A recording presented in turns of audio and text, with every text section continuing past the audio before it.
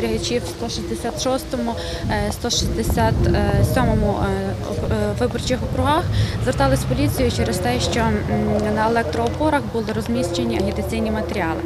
Е, Закон України про вибори народних депутатів прямо не забороняє, тобто не вказано, що на електроопорах не можна розміщувати е, агітацію. Проте в е, 68 статті е, зазначено форми та засоби ведення агітації.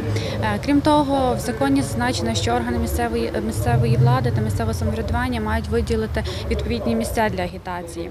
Е, Також е, пр- пр- правила ведення благоустрою також е, зазначають, що не можна розміщувати будь-яку рекламу на електроопорах. Ми зателефонували до цих кандидатів. Роман Василіцький повідомив, що йому невідомо, хто розклеював ці плакати. Каже, цим займалися люди з його штабу. Олег Вітвіцький не відповів на дзвінок. Представник штабу кандидата в народні депутати Володимира Бліхаря Наталя Іздерська повідомила, що члени їхнього штабу не розклеювали агітаційних матеріалів на електроопорах.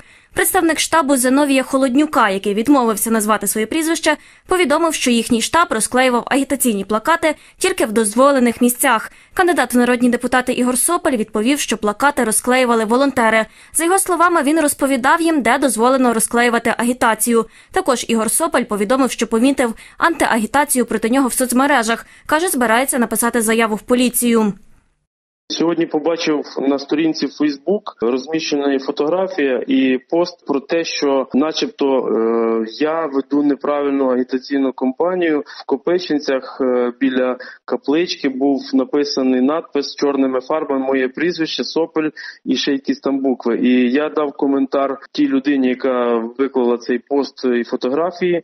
Написав буквально за декілька хвилин цей пост був видалений з Фейсбука, і в мене є бажання поїхати туди на це місце і зробити заяву, позвонити на 102 в поліцію, і оформити все згідно з чинного законодавства. Зв'язатися з Аллою Стачишин нам поки що не вдалося. Ще одне можливе порушення спостерігачі зафіксували у місті борщів. Плакати кандидата в народні депутати були розміщені на вікнах автобусів, каже Ольга Галушка.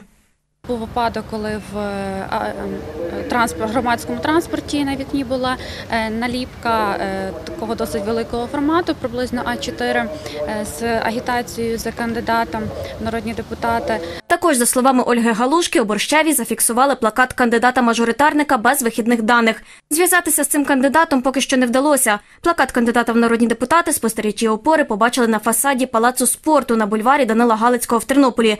Були зафіксовані випадки, коли на будівлі е, державної або комунальної форми власності була розміщена агітація, що заборонено законом.